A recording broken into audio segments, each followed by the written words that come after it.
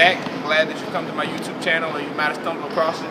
We're going to use the Swiss ball so that way we can work our core. And this is going to be a, about a level five move, but I'm pretty sure everybody can do it. I want you to be able to be in a plank position with straight arms, but we're going to work on mechanical movement and kind of building up a little range of motion and strength in the hip. All right, let's get started. This is a slow motion mountain climber. Make sure that you keep your spine straight. Don't tuck your hips every time you raise your knee. Now you'll go through a repetition with what you're comfortable with. If you want to step up the progression, slowly bump the ball with your knee. This will allow you to get stronger faster. Good luck.